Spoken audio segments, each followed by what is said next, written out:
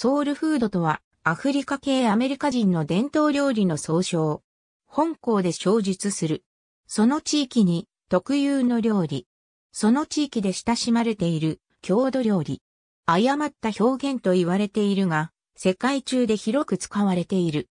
ソウルフードとは、アメリカ合衆国南部で奴隷制を通して生まれたアフリカ系アメリカ人の伝統料理の総称である。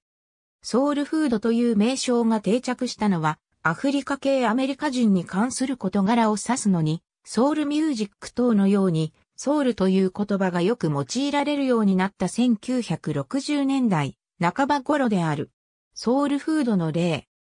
左奥にコーンブレッド、右奥スイートティー、手前の皿にカラードグリーン、マカロニチーズ、フライドチキン、さつまいものキャセロールソウルフードの歴史は、アメリカ合衆国の奴隷制の時代に遡るが、そのルーツは、アメリカ合衆国や奴隷制の歴史よりも古く、アフリカ大陸にまでたどることができる。モロッコからアフリカに移入された株やスペインから移入されたキャベツは、アフリカ系アメリカ人の食文化にとっても重要な作物となった。14世紀初めに奴隷貿易が始まると、奴隷とされたアフリカ人の食文化は新たな地で変化を遂げた。この時期すでにアフリカ原産の作物がアメリカ州の奴隷の食物に含まれている。アフリカ原産の作物の中にはアメリカ州の重要な作物となるものも現れ、アメリカ合衆国南部をはじめにシンド諸島やブラジルでアメリカ州独特の食文化の成立に貢献した。このためにソウルフードは主にケイジャン料理、クレオール料理やブラジル料理と食材やアフリカ式の料理法を共有している。北オポッサムアフリカ人の奴隷とその子孫は手に入る食料で生き延びることを余儀なくされた。アフリカで食べていた野菜の代わりに大農園で奴隷に与えられた株やタンポポやビーツの葉が用いられるようになり、カラードグリーン、ケール、クレソン、洋酒やマゴボウなど新しい素材も用いられるようになった。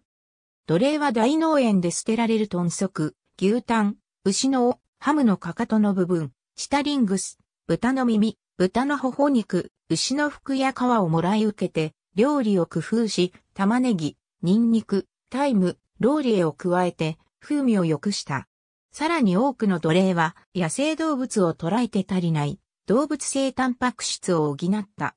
1950年代までは、農村部に住むアフリカ系アメリカ人はアライグマ、北オポッサム、亀やウサギをよく食べていた。家畜の内臓やオナは今でもソウルフードの代表的な食材となっている。ナマズ奴隷が農園主の邸宅の台所でコックとして働くようになると奴隷の食文化はさらなる発展を遂げた。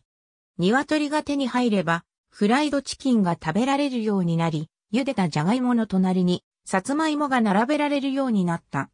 リンゴ、桃、キイチゴ類、種種類、穀類はプディングやパイになった。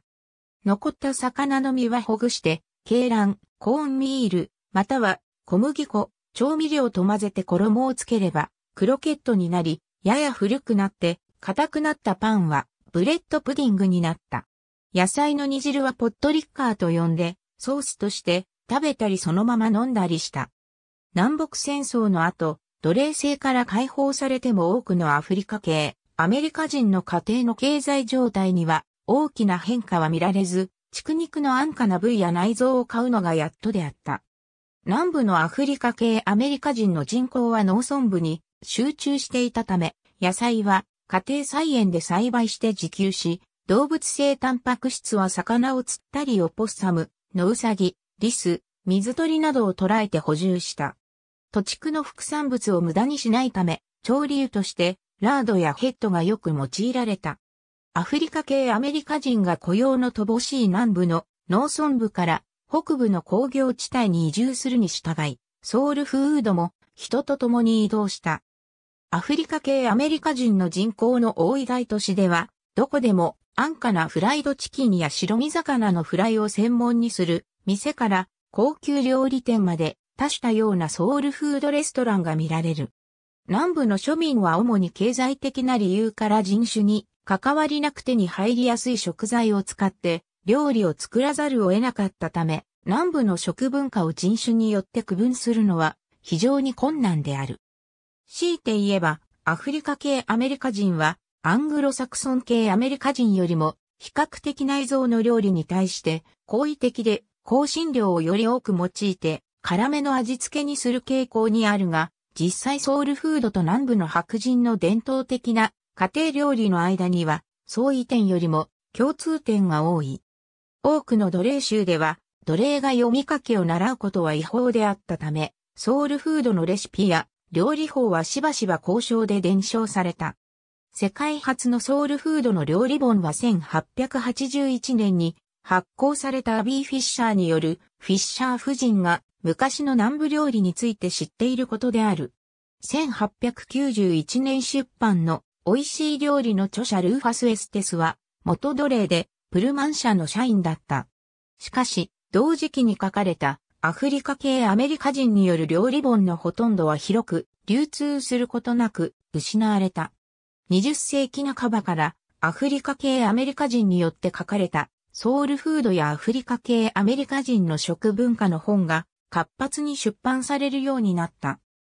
1970年初版のバータメイ・グローブナーによるバイブレーションクッキング、あるいはギーチー娘の旅行記はサウスカロライナ州東部の低地地方のギーチーやガラジンの料理を扱っており、材料を厳密に計量して料理するよりも直感を大事にすることと、手元にある材料で料理を工夫するという2点に重点が置かれ、伝統的なアフリカ系アメリカ人の料理法の精髄をつかむことに成功している。牡蠣、カニ、新鮮な野菜、米、さつまいもといったシンプルで健康的かつ簡単に手に入るローカントリーの食材をレシピでふんだんに用いるグローブナーの著作はベストセラーとなった。アフリカ系アメリカ人の家庭では祝日に料理を皆で分かち合う大切さが重んじられてきた。このためアフリカ系アメリカ人の料理の本にはしばしば家族の大切さと家族が集まる場のための料理という共通のテーマが登場する。黒人女性による全国会議をはじめとする社会奉仕団体や社会福祉団体や協会は活動資金や事前事業の資金を作るためにしばしば料理本を編集してきた。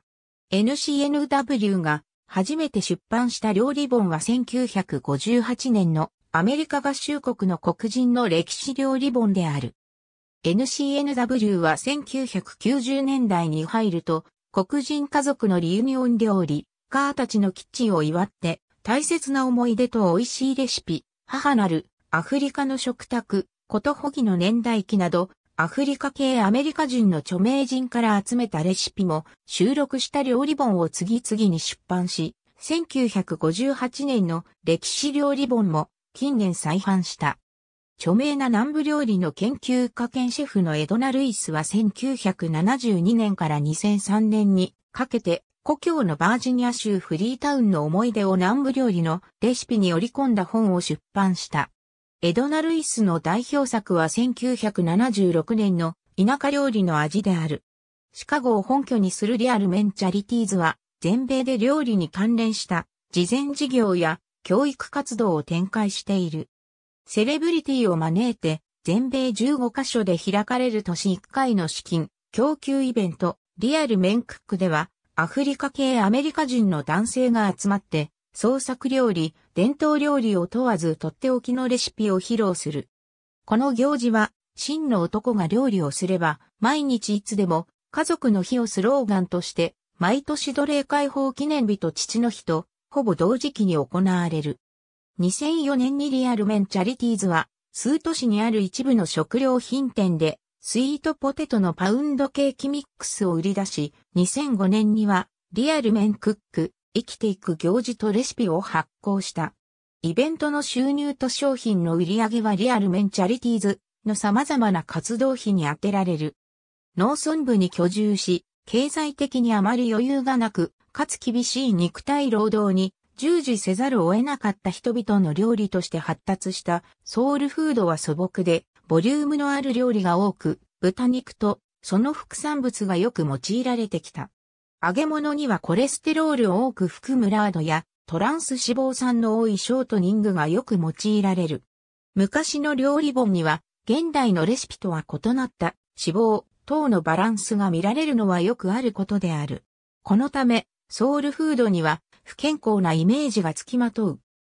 しかし、アフリカ系アメリカ人に限らず現代のアメリカ人の多くはコレステロールやトランス脂肪酸を多く含む食品の過度の摂取と運動不足が重なるという非常に不健康な生活を送っているため、肥満、高血圧、循環器系疾患、糖尿病など成人病を発症しやすく、健康的な生活習慣を持つ人よりも早く死亡するリスクが高い。トランス脂肪酸の摂取は心臓病のリスクを高めることもわかっている。このため、アフリカ系アメリカ人の中では近年揚げ物にサラダ油を使ったり、豚の代わりに豚よりも脂肪の少ない七面鳥の燻製を使ったりするものも出てきた。しかし、伝統的でない料理法や素材をソウルフードに取り入れることで、アフリカ系アメリカ人の伝統文化が損なわれるのではないかという懸念もある。一方で、ソウルフードの代表的な植物性の素材の中には、有料健康食品として知られているものも少なくない。カラードグリーンズはビタミン A、ビタミン B6、ビタミン C、マンガン、鉄分、オメガ3脂肪酸、カルシウム、葉酸、食物繊維を多く含む緑黄色野菜であり、卵巣がんや乳がんを予防する各種のファイトケミカルを含む。豆類や米はコレステロールを含まない安価なタンパク源であり、豆と玄米は特にビタミンとミネラル、食物繊維が豊富である。さつまいもは、ベータカロチンや微量のミネラルが豊富で、糖尿病を予防する効果がある。近年動物実験により、さつまいもを食べると血糖値が安定し、インスリン抵抗性を和らげる効果があることが明らかになった。パウエルズでのソウルフード。フライドチキン、マカロニチーズ、カラードグリーン、揚げたオクラ、ソウルフードの料理や食材の中には他の民族グループの食文化と共通するものとソウルフード独特のものがある。また、ソウルフードの中にも地域差が見られる。